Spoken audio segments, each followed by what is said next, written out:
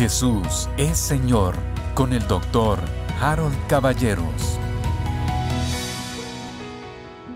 Queridos hermanos, bienvenidos. Que la paz de Dios gobierne su vida y su corazón. Que su vida sea inundada de la paz shalom de Dios. Hoy estamos iniciando un nuevo tema. Fíjese usted que en el discipulado virtual comenzamos a tratar el tema de que nosotros, el concepto de nosotros estamos en Cristo. Pero el día de ayer, en nuestra lección número 31, me parece, tratamos el otro concepto, el otro lado del concepto. Cristo en nosotros, como dice la palabra, la esperanza de gloria. Entonces, nos fuimos dando cuenta a través de la escritura que Dios Todopoderoso habita mora permanentemente en nosotros. Y tenemos la gracia en esta particular dispensación neotestamentaria o post-neotestamentaria, tenemos nosotros esta bendición inconmensurable de tener, o de ser más bien, perdón, de ser la morada del Espíritu Santo. Y esto me lleva a mí a otro tema que me parece que es verdaderamente importante, y es aprender a ser guiado por el Espíritu Santo. Muchísimas personas no aprenden esto. Yo creo que simplemente porque no se nos enseñó. Yo tuve una eh, experiencia recientemente con el Espíritu dándome una palabra eh, e indicándome lo que estaba pasando en medio de una negociación en la que yo me encontraba. Y a partir de ello empecé a recordar todas las enseñanzas, todo lo que aprendí yo y todo lo que enseñé yo respecto a ser guiados por el Espíritu Santo. Creo que es un tema importantísimo, porque la forma correcta de acercarnos a este tema es la división bíblica, Antiguo Testamento y luego Nuevo Testamento. Recuerdan que hemos visto los diferentes momentos, ¿verdad? Todo el Antiguo Testamento, luego los cuatro evangelios, después tenemos el libro de Hechos junto con las epístolas y luego tenemos el libro de Apocalipsis indicándonos los eventos ya del final. Bueno, en ese sentido, en el Antiguo Testamento hay un trato con respecto de Dios para el hombre. Fíjese lo que voy a decir. En el Antiguo Testamento, la presencia de Dios está guardada dentro del lugar santísimo la presencia de Dios sobre el arca. Y las personas, todas las personas, todos aquellos mayores de 20 años, judíos, tenían que ir a Jerusalén una vez al año y presentarse en el tabernáculo, delante de la presencia de Dios. Pero no entraban a la presencia de Dios, solamente el sumo sacerdote y solamente una vez al año para hacer expiación por los pecados. Claro, Dios Todopoderoso ungió con el Espíritu Santo a sus siervos como Él lo quiso. Ungió reyes, ungió profetas, incluso, usted recuerda, tanto, para el templo de Salomón como para el tabernáculo, ungió a los, a los orfebres, a los que trabajaron todas las cosas para construir la casa del Señor en ese entonces. Pero básicamente la guianza era de Dios mismo. El mejor ejemplo, y seguramente que vamos a recurrir a él una y otra vez, es el de la columna de fuego o la nube de día. La nube de día y la columna de fuego por la noche. Dios guiaba de esa manera al pueblo, pero no tenían la presencia de Dios dentro de ellos. Termina el Antiguo Testamento y comienzan los Evangelios. Entonces vemos a Dios en Cristo. Jesucristo fue lleno del Espíritu Santo. Hechos 10:38, de cómo Dios ungió a Jesús de Nazaret y de cómo éste anduvo haciendo bienes y sanando a todos los que estaban oprimidos por el diablo. Jesús fue ungido por el Espíritu Santo. Usted recuerda una de las escenas más maravillosas de la Biblia. El Señor Jesús eh, recurre a Juan el Bautista. Juan el Bautista está en el agua bautizando a las personas y cuando lo ve dice, no, no, no, yo no soy digno de bautizarte. El Señor Jesús le dijo, deja cumplamos toda palabra. Entonces el Señor Jesús va al agua del bautismo y cuando Él sale del agua, la voz de Dios se escucha, se hace presente y dice, este es mi Hijo amado, en quien tengo complacencia. Y dice la palabra que el Espíritu Santo descendió en forma de paloma. Esto es maravilloso, es uno de esos momentos a mí, a mí eso me cautiva.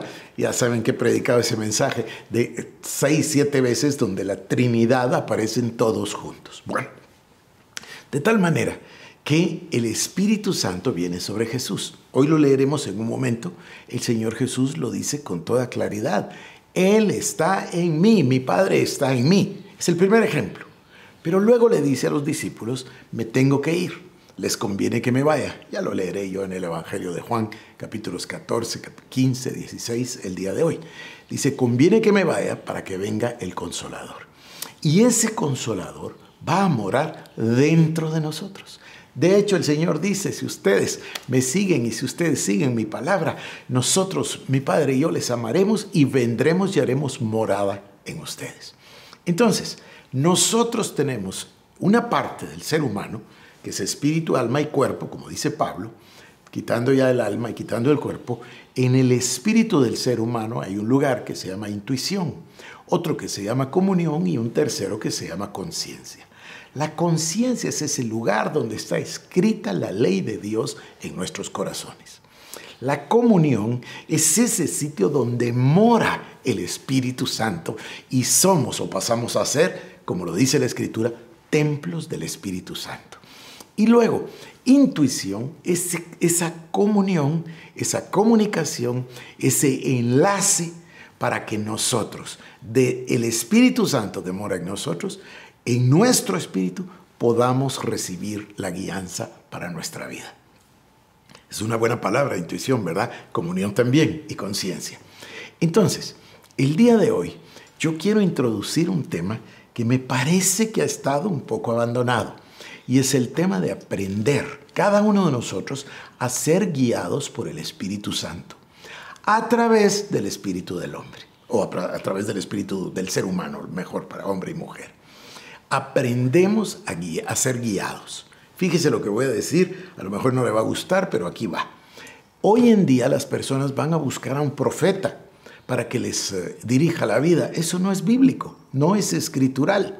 Puede ser que un profeta ungido por el Espíritu Santo dé un mensaje, eso, eso es innegable. Pero esta cosa de hacer cola para que el profeta le dé palabra, cola le decimos, no, línea, o, ponerse así en fila para que ir, ir, y que el profeta le dé palabra, esto no es escritural, no es escritural. Lo que es verdaderamente bíblico es que aprendamos a ser guiados por el Espíritu Santo cada uno de nosotros. Claro, es más fácil solo que le den palabra y no tener que ejercitar su espíritu, pero ahí caeríamos en nuestra conclusión de la lección del discipulado virtual, el estado de eterna infancia de la iglesia por falta de crecimiento y madurez. Voy a usar eh. Um, la escritura el día de hoy, incluso me traje mi Biblia amplificada en inglés, voy a compartir con usted los versículos introductorios y continuaremos durante toda la semana. Obviamente hoy es jueves, hoy estamos terminando nuestra semana porque mañana nuestro programa en vivo. Recuerde mañana preparar los elementos para la Santa Cena. Mañana nuestro programa es en vivo y va a ser maravilloso sobre el poder más grande que está disponible para la iglesia va a ver usted una maravilla. Así que le espero mañana viernes y luego le anticipo, seguiré toda la semana con este tema, cómo, cómo aprender a ser guiados por el Espíritu Santo. Pero le voy a enseñar entonces los primeros versículos de introducción en el Evangelio de Juan.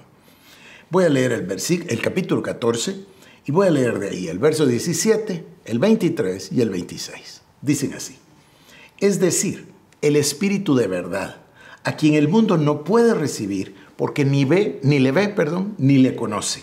Pero vosotros sí le conocéis porque mora con vosotros. Cristo moraba con ellos y estará en vosotros.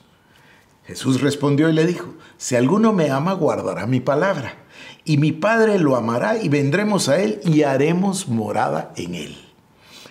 Aquí viene el tercero. Pero el consolador, el Espíritu Santo, a quien el Padre enviará en mi nombre, él os enseñará todas las cosas y os recordará todo lo que yo os he dicho. Esto está hablando de la morada de Dios, de la morada del Espíritu Santo en nosotros. No se le olvide, Él habita en nosotros. ¿Qué cambio hace en nuestra mentalidad el saber que 24 horas estamos llenos del Espíritu Santo? Que Él mora en nosotros. Mire que Va a ser usted un campeón sobre el pecado, sobre la tentación, sobre el diablo, sobre la necesidad, sobre la enfermedad, etc. De solo saber que Dios mora en usted, exactamente como moró en Cristo. Por eso el Señor dice, Él mora en mí, yo hago lo que Él me dice, yo hago lo que Él me envía a hacer, y luego pasa y dice, y ustedes harán los mismos milagros y aún mayores, claro, porque es el mismo Dios morando en nosotros por la gracia, siempre lo repito, ¿no? Con tanto respeto, de la obra redentora del Señor Jesucristo. Ahora voy a Juan capítulo 15, verso 26, y dice, cuando venga el consolador, a quien yo enviaré del Padre, es decir, el Espíritu de verdad que procede del Padre, Él dará testimonio de mí. Y Juan 16, voy a leer el 7 y el versículo 13 y 14. Pero yo os digo la verdad, que os conviene que yo me vaya, porque si no me voy, el consolador no vendrá a vosotros. Pero si me voy, os lo enviaré. Pero cuando Él, el Espíritu de verdad, venga, os guiará a toda verdad porque no hablará por su propia cuenta, sino que hablará todo lo que oiga y os hará saber lo que habrá de venir. Él me glorificará porque tomará de lo mío y os lo hará saber.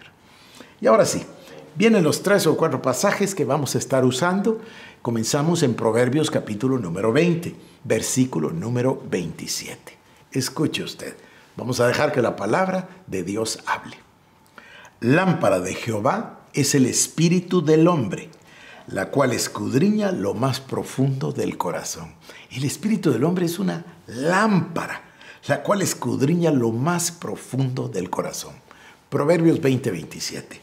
Y ahora vamos a ver Romanos capítulo 8, versículo número 14. Dice así, porque todos los que son guiados por el Espíritu de Dios, los tales son hijos de Dios. Es decir, hay ahí una unión de los dos conceptos. El Hijo de Dios es el que es guiado por el Espíritu Santo. El que es guiado por el Espíritu Santo es Hijo de Dios. Y Romanos 8:16. El Espíritu mismo da testimonio a nuestro Espíritu de que somos hijos de Dios. Y por supuesto tengo otros pasajes como Primera de Pedro 3:4 que quiero tratar con usted. Por eso me traje esta Biblia. No lo haré hoy porque estoy viendo el reloj aquí enfrente de mí, pero lo haré el día lunes. La Biblia le llama el hombre escondido del corazón. Ese es el espíritu del hombre. Es ese testimonio que nos guía. Esto lo, complementaremos con Colosenses y el pasaje que dice que dejes que la paz gobierne tu corazón. Hay una paz que es el testimonio del Espíritu Santo. Es una especie de semáforo. A veces nos da luz verde, a veces nos da luz roja y cuando viene la luz roja perdemos la paz. Bueno, que tenga usted un maravilloso fin de semana. Le espero mañana viernes en el programa en vivo y durante la semana trataremos este tema apasionante. Cómo aprender a ser guiados por el Espíritu Santo dentro de nosotros. Esto fue Jesús es Señor Búscanos en nuestras redes sociales como Iglesia El Shaddai Guatemala.